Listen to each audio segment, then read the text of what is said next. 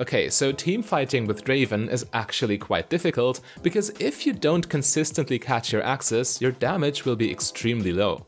But the good news is that Draven will still be able to catch his axes when stunned, and even when under the effects of stasis.